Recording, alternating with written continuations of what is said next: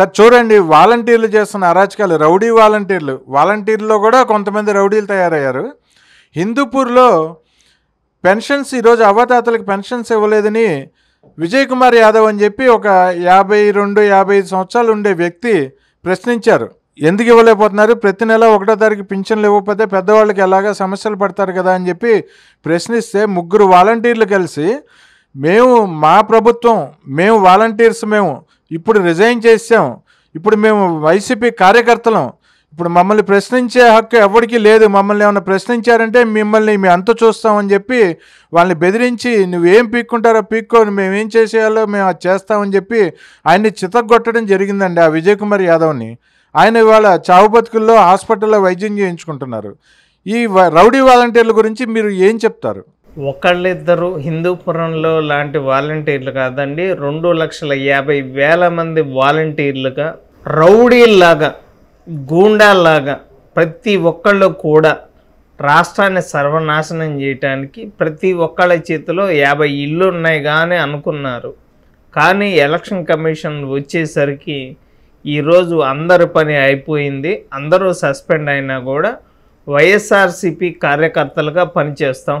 మేము పార్టీకి సపోర్ట్ చేస్తాము అంటే ఈ రోజు టీడీపీ కానీ జనసేన కానీ వైసీపీ కార్యకర్తలు ఈ వాలంటీర్ని ఎదుర్కొనడానికి టీడీపీ పార్టీ అయితే సిద్ధంగా ఉంది.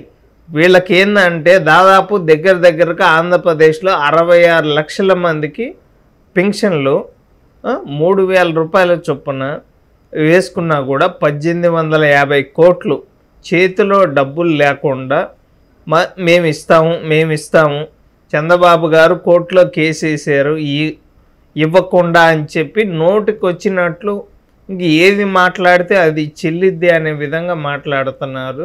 చంద్రబాబు గారు కోర్టులో కేసేశారు ఎల్లుండి ఇస్తామని చెప్తున్నారు. చంద్రబాబు గారు కోర్టులో కేసేస్తే ఎల్లుండి వీళ్ళు ఎలా ఇస్తారండి? అంటే చంద్రబాబు కోర్టులో కేసు వేస్తే ఎల్లుండి వీళ్ళకేందో ఫేవర్గా కోర్టు తీర్పు ఆ, తీర్పు ఒకవేళ తీర్పు ఇచ్చినా కూడా మీకే డబ్బులు ఏడి చంద్రబాబు గారు కోర్టులో కేసు వేశారా అసలు?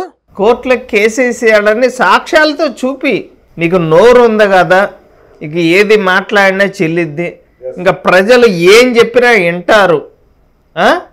ఈ జోగి రమేష్ గారిని కూడా తుర్కా కిషోర్ గారి లిస్టులో రాయాలి. ఎందుకు అంటే ఇంతకు ముందు చంద్రబాబు గారి ఇంటి మీదకి వెళ్ళిన వాళ్ళు ఈడు కూడా ఒకడు. జోగి రమేష్ చెప్తున్నాడు ఇవాళ ఒక అవ్వని కలిసి ఆడు చ- ముఖం అంతా చెమటలు కారిపోతున్నాయి. ఆడు ఎప్పుడు ఎండలో రావడం నేను ఇప్పటి వరకు చూడలేదు. ముఖం తుడుచుకుంటా ఆమె ఎందుకు రాలేదో తెలుసా పెన్షన్?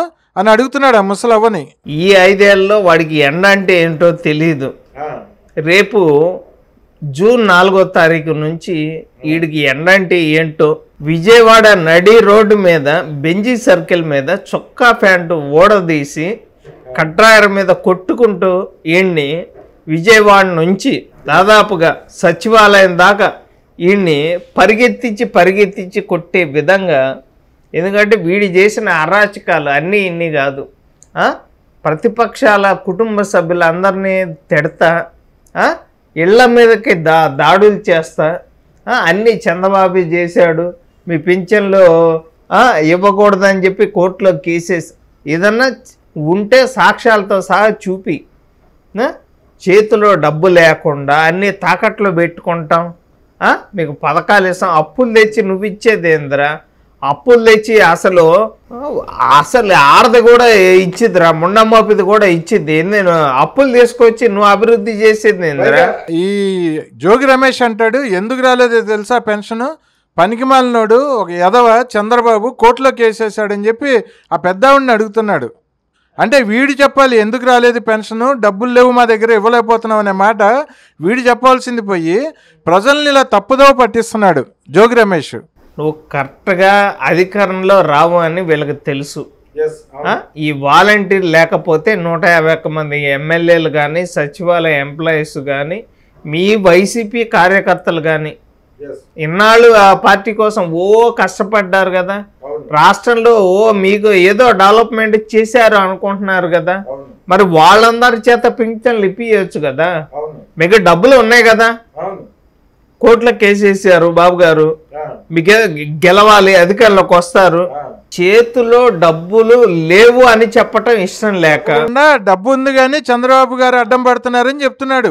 వీళ్ళందరూ కలిసి. ప్రతి ఒక్క విషయానికి కూడా చంద్రబాబే కారణం. ఈ పనికి మాలిన ప్రభుత్వం ఈ ఎలక్షన్లో ప్రజలు సమాధి చేస్తారంటారా? ఈ ప్రభుత్వం ఖచ్చితంగా. మే పదమూడవ తారీఖున ఎలక్షన్ జూన్ నాలుగో తారీఖున రిజల్ట్స్. రాష్ట్రానికి పట్టిన గ్రహణం జూన్ నాలుగో తారీఖున వదిలేస్తుంది అంటారు ఖచ్చితంగా. ఈ దరిద్రాలన్నీ కొంపకపోతాయి అంటారు అసలు ఇంకా మొత్తం ఇంకా రాష్ట్రానికి పట్టిన దరిద్రం పేడ వదిలిపోతుంది.